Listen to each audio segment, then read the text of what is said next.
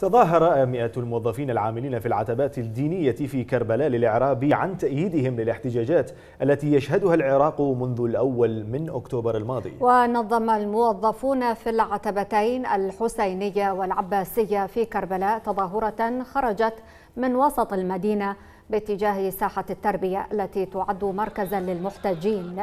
وأكد الموظفون مساندتهم للمتظاهرين معربين عن رفضهم لبقاء الأحزاب السياسية الحالية في سدة حكم البلاد.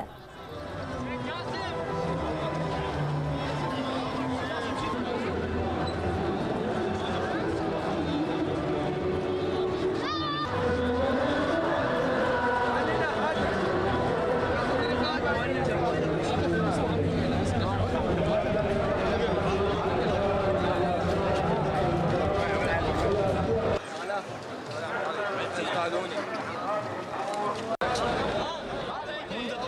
اول يوم العتبة من خلال مستشفى الكفيل فتحت ذراعيها لاستقبال الحالات المرضية وحالات الإصابات، عندنا في المجال اللوجستي عندنا مفرزة طبية لمستشفى الكفيل موجودة في الساحات منذ خمسة أيام، عندنا دعم لوجستي في توزيع الغذاء والعصائر وال... وبمعدل 4000 وجبة يوميا، هذا العمل مستمر. هذه المظاهرات تحمل مجموعة من الرسائل المهمة اللي نحاول إيصالها، أول رسالة هي سلمية هذه المظاهرات وعدم المساس بالممتلكات الدولة والممتلكات العامة والممتلكات الشخصية وأيضا تأييد المرجعية الدينية وأبناء العتبات لهذه المتظاهره المظاهرات وكما شاهدنا خلال الخمس أيام الفائته من حملة الدعم اللوجستي اللي قدمها أبناء العتبات لاخوه المتظاهرين في ساحات التظاهر.